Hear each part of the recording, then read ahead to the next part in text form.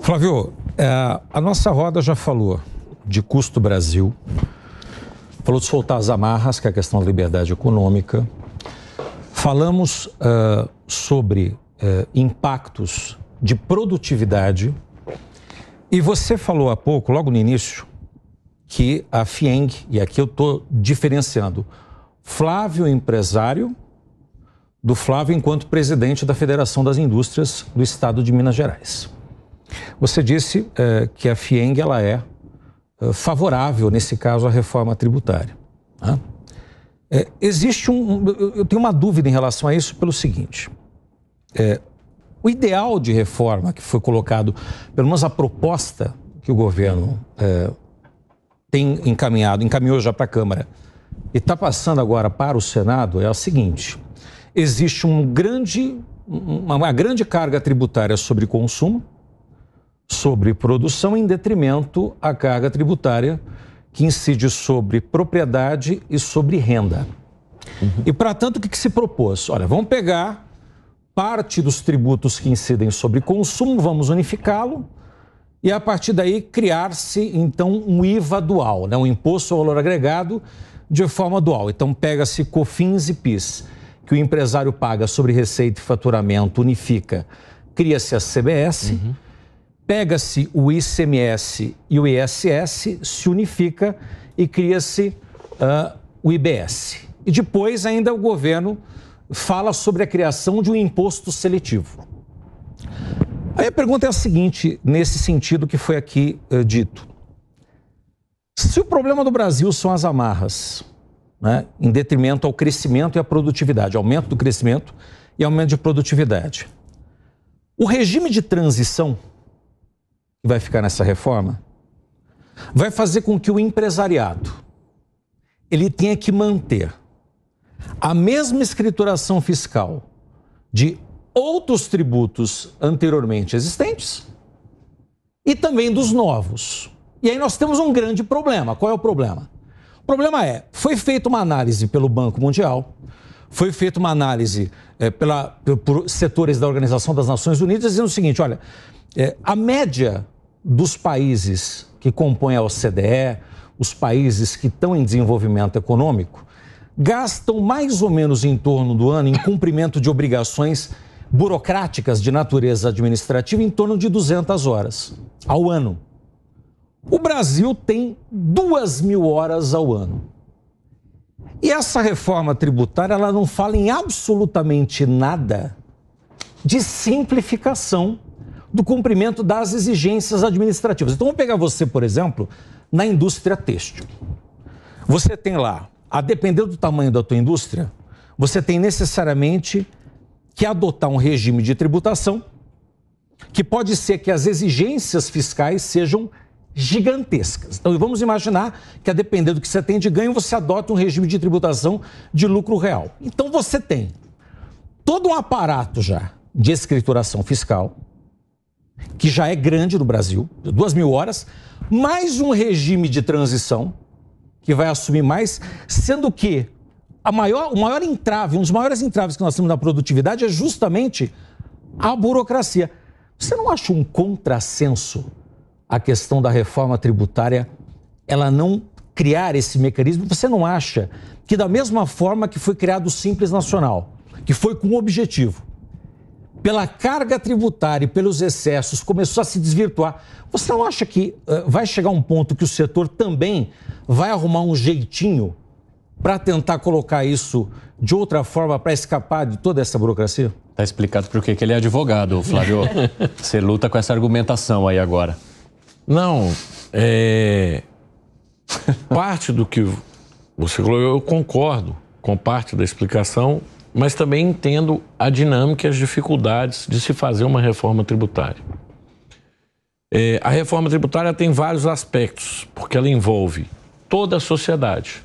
Porque, primeiro, você trata da redistribuição entre os entes, né? entre Estado, União, uhum. município, e também entre setores produtivos e com a própria sociedade, todo mundo lutando para pagar menos. Né? Qual que é o problema? Ninguém olha a visão de país, todo mundo quer olhar o seu umbigo.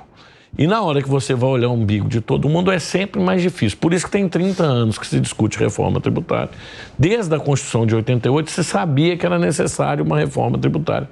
E até hoje não conseguiu se fazer. Então, isso posto, nós nunca teremos uma reforma tributária ideal para todos. Uhum. Essa é uma realidade. Porque quem tem privilégio não quer perder os privilégios.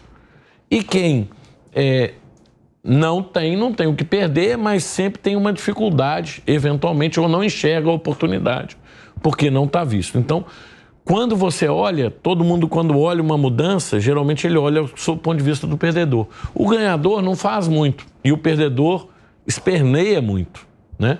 Seja ele um ente, ou seja ele um setor produtivo, ou até mesmo o cidadão de maneira geral. Se você me perguntar para o Brasil o que deveria ser feito primeiro, a reforma tributária, a FIENG sempre defendeu a reforma administrativa. Por quê? É prioridade, você acha? É, já não é mais factível, é. mas no passado. É mais porque importante. a reforma tributária hoje ela vai ser montada para atender o tamanho do Estado que existe. Se você fizesse uma reforma administrativa anteriormente, a sociedade poderia discutir o tamanho do Estado que ela quer um Estado menor iria custar menos ao bojo da sociedade. Só que isso não foi possível. Inclusive, era a tese inclusive, do presidente da Câmara, o Arthur Lira, que queria a reforma administrativa primeiro, e a FIENG sempre bateu nesse ponto. Bom, isso está para trás, seria o cenário ideal. Então, nós temos um cenário para fazer uma reforma tributária de um Estado grande e inchado, que não quer perder seu tamanho, que não quer ir para o SPA e reduzir. E porque a sociedade também não cobra isso do Estado. Esse é que é o problema do discurso. A sociedade tinha que cobrar. Porque o Estado vende que Estado bom é Estado grande. Olha, quem é gestor público quer mais dinheiro para gerir, ninguém quer menos dinheiro para gerir, não. Se eu sou gestor público, se eu sou político, o discurso sempre é eu quero mais, porque eu vou fazer mais por você. Só que essa não é a realidade do ponto de vista econômico. Então, a sociedade não fez essa exigência. Isso posto, nós temos aí a reforma tributária. Se um lado da dualidade ele é ruim do lado burocrático, eu concordo com você, ips literis. Por outro lado, ele dá segurança jurídica aos incentivos fiscais concedidos. Então, para tudo, tem um peso e uma medida. Se você não tivesse a dualidade, você ia perder a segurança jurídica dos incentivos fiscais, que para mim é algo muito relevante, porque houve investimento com base na concessão desses incentivos fiscais. E se você mudar do dia para a noite, você vai ter um desequilíbrio econômico dessas empresas que contaram com isso para o seu modelo de negócio. Além disso, você teria estados que receberam investimentos que do dia para a noite eventualmente deixariam de receber e poderiam ter suas economias abaladas no curto prazo. Então, não foi o ideal, eu concordo que não é o ideal. Eu concordo que vai gerar uma dupla burocracia, porque na verdade você vai ter todo o velho atual mais o novo. Então, durante algum tempo, até 2032, com certeza vai ter que conviver com esses dois sistemas. Flávio, só, só um adendo. E, e, ainda eu vejo o, o, seguinte, o seguinte problema a ser enfrentado não só pelo setor industrial, mas assim, pela sociedade como um todo. É, grande parte dos estados da federação e a grande gama de municípios depende, em regra, da arrecadação de dois tributos os estados do ICMS uhum. e os municípios do ISS, em grande medida. Criou-se uma possibilidade de federalização disso, ou seja, é, a norma ela diz o seguinte: olha, União, você arrecada tudo e depois você distribui. O que já tem uma grande discussão se isso afetaria ou não a autonomia financeira dos estados. E a questão é, é não haveria uma necessidade inicial, antes de entrar nessa reforma da maneira que está, de colocá-la em tranches, ou seja, não tentar fazer uma reforma de uma única vez. Porque assim, vai se tentar mudar tudo de uma única vez e não vai se mudar nada.